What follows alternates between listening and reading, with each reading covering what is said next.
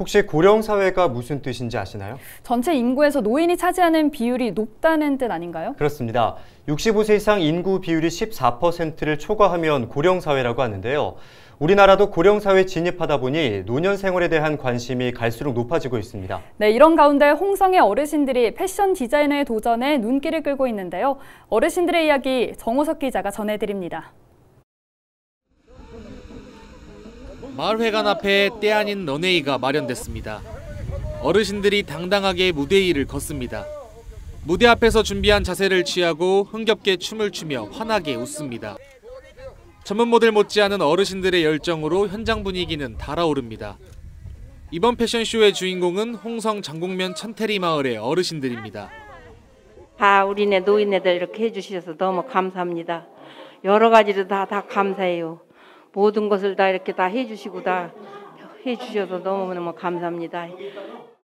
어르신들은 지난 6월부터 전문가에게 지도를 받으며 패션쇼를 준비했습니다. 자식과 손자, 손녀, 이웃 등 일상에서 떠오르는 주제로 직접 옷을 디자인하고 패션쇼의 모델로 선 겁니다. 그래서 우리 손녀가 보고 저를 달래요. 그래서 내가 오늘 행사하고 내가 깨끗이 해놨다가 정오려면 준다고 했어요. 이번 패션쇼는 홍성군의 지원을 받는 문화예술연구단체가 기획했습니다. 이 단체는 천태리 어르신들이 즐거운 노후 생활을 보낼 수 있도록 그림 그리기와 공예 등 다양한 취미 활동을 지원하고 있습니다. 연구소는 패션쇼가 끝난 뒤 어르신들이 디자인한 옷을 판매할 계획입니다. 단순히 취미 활동을 넘어 어르신들의 소득 창출까지 돕고 있습니다.